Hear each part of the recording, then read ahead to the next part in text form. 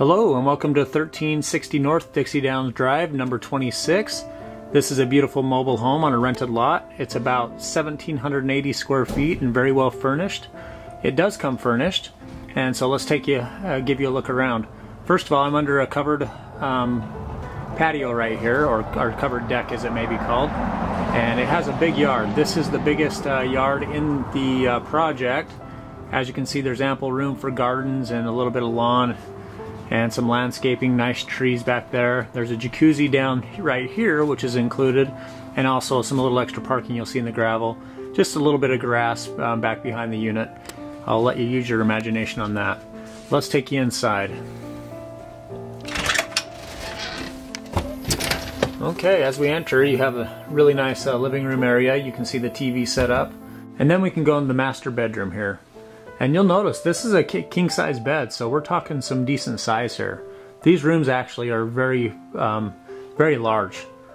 You'll notice that. Okay, bathroom. Double sink vanity, tub, and uh, other business arrangements there. Nice lighting, very well lit. We're gonna go back into the dining area. So again, entry right here for orientation. You've got a nice formal little dine right here with a nice buffet there with cabinetry. Okay, so again back to the TV area and then the two-sided fireplace. And that's a real log fireplace right there. Okay. We go down and then you see more of a formal little live right here. Formal little living room. Got some beamwork on the ceilings, kind of adds a little class. Kitchen with a little bit of a breakfast table right here built in. And so kitchen area right here. And then you're going to see two really large bedrooms. This is very well uh, good size. First of all, hall bathroom. Right here, they've tiled the floor. And then you've got this, that's, that's a nice queen size bed in there, and there's room to do laps in there, it seems almost. They use their third bedroom as more of an art studio, as you can see, but a good sized room as well.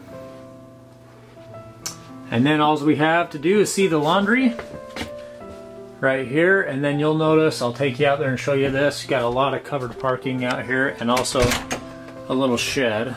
So excuse the, oh, there you go. So nice covered um, parking or carport. And then as you can see, storage shed back there. So there you have it. Who do you know that wants to make this their home?